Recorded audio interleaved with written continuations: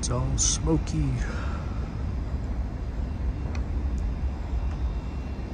I believe it's still from the uh, uh, Canadian fire. I haven't heard much about uh,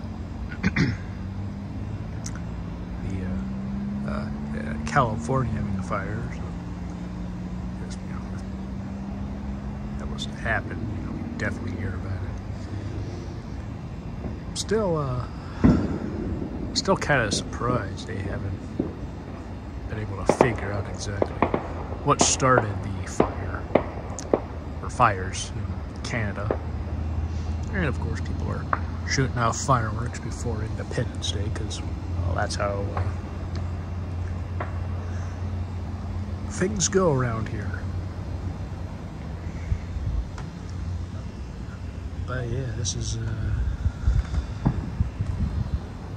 quite something. During the day, it looks pretty good, but as night falls, you know, it's quite interesting, to say the least. Well, people are fine, you know, in the areas where the fires are. Um, stuff like that is always unfortunate. But unfortunately, it does happen. And I know in California for sure. Uh, this has basically been said to have been a, a big reason with the brush. They all start like as brush fires, primarily in California. You know, if they clean up the brush over there, like the various sticks and stuff, where all the fires primarily take place, you know,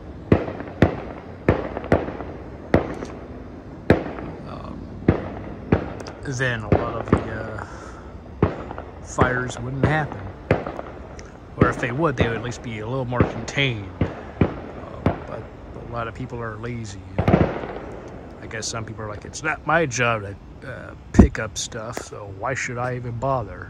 Uh, and yet I'm sure some of those people are also uh, very much for the environment, and yet they probably do the bare minimum to try and show they really care about the environment. Like uh, they recycle more than the average person on their uh, or in their neighborhood. so there you go. That's how they care for the environment more than everybody else that lives on their street or apartment building or what have you.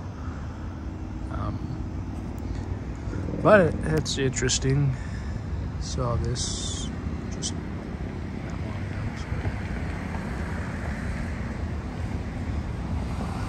stay safe and I hope you're all doing well.